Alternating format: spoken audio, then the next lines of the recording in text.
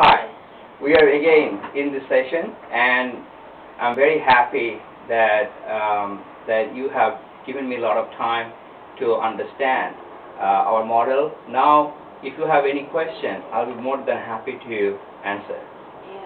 Uh, Actually, I have a little interest with your uh, model, but I still have some questions.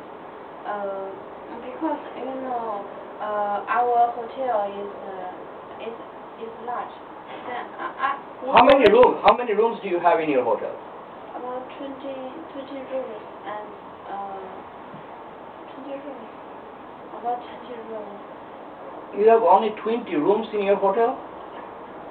20 rooms and uh, other hall.